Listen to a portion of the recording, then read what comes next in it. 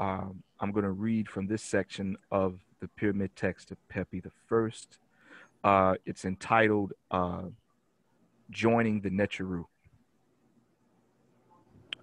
Uh, and it reads as Someone has gone up. I have gone up. The lady of depth becomes excited. The mind of her in the midst of Nekheb becomes carefree on the day that I have gone up into the place of the sun.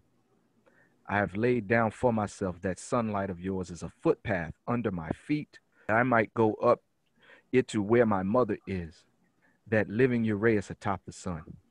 Her mind is sick for me, and she gives me her breast that I might suckle. My son, she says, accepted this my breast and suckle. She says, Since you have not come yet to the full number of your days as a baby. The sky speaks, the earth shakes.